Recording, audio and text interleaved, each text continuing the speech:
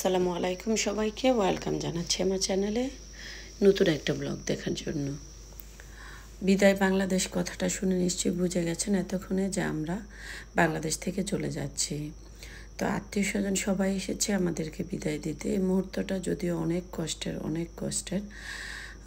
তারপরও বিদায় তো নিতে হবে। আমাদের ভ্যাকেশন শেষ, বাচ্চাদের স্কুল খুলে যাবে। তো সব কিছু মিলিয়ে আমাদের এখন চলে আসবার পালা। তো খুবই শর্টকাট করে একটা ব্লগ রেডি করেছি। অনেকে দেখেছেন, বাংলাদেশে এসেছি। বাংলাদেশে অনেক সুন্দর সুন্দর মুহূর্ত কাটিয়েছি আত্মীয় স্বজনদের সাথে অনেক আনন্দ করেছি। যেহেতু এখন চলে যাবার সময়, কষ্টের সময়, সেটাও ভাবলাম একটু শেয়ার করে নিই আপনাদের মাঝে।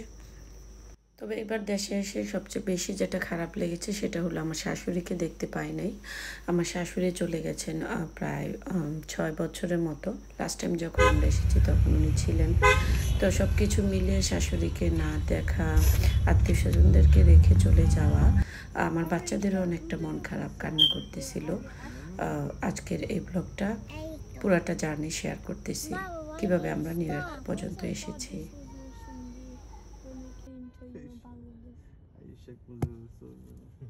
Baba, why? Hmm. Wait. Huh? I'm from Bangladesh. Oh! Yay!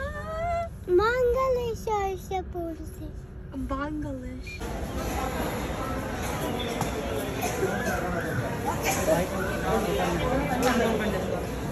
Mom.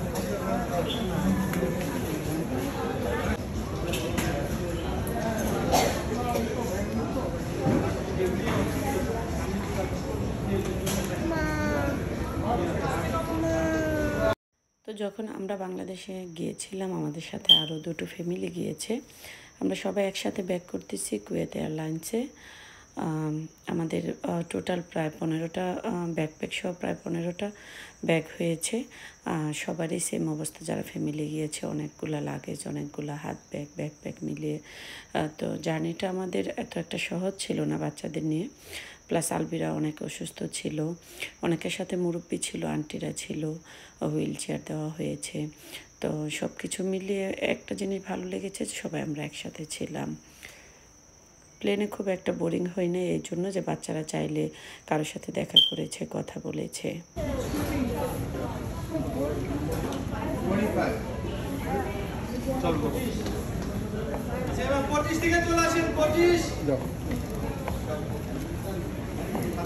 Move তো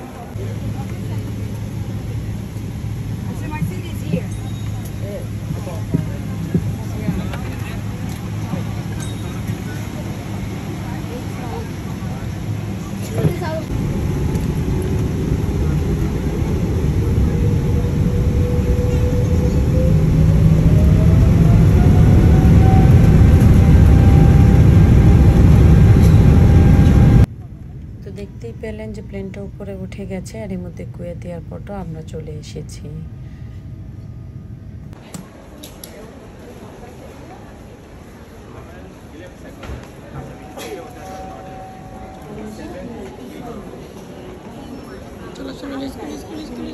বাবাকে হেল্প করো, বাবাকে হেল্প করো।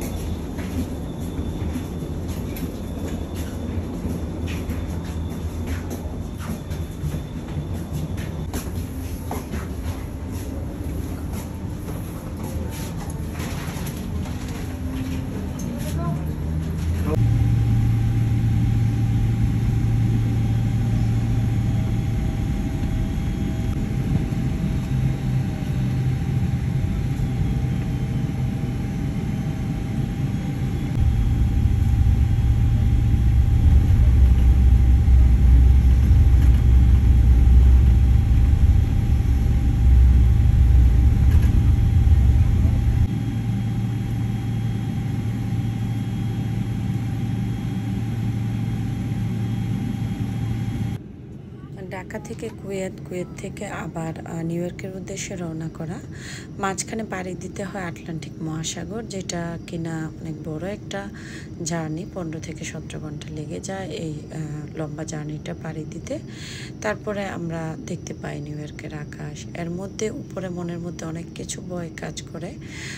যখন আবার নিউ ইয়র্কের আকাশে চলে আসি, নিচের দিকটা দেখি যে প্লেনটা এখনই ল্যান্ড করবে। মনের মধ্যে অনেকটা স্বস্তিও লাগে। নিজ গৃহে যাব, ছোট্ট একটা ঘর, তারও একটা টান আছে, মায়া আছে। আত্মীয় স্বজনদের রেখে চলে আসছি, তার জন্য একটা খারাপ লাগা কাজ করে।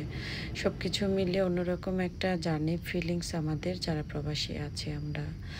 তো কেমন হলো আজকের ব্লগটা কমেন্টস করে জানাতে ভুলবেন না। অনেক ব্যস্ততার মাঝেও চেষ্টা করেছি আপনাদের মাঝে আমার জার্নিটা শেয়ার করতে। আজকের মতো আল্লাহ হাফেজ, আসসালামু আলাইকুম।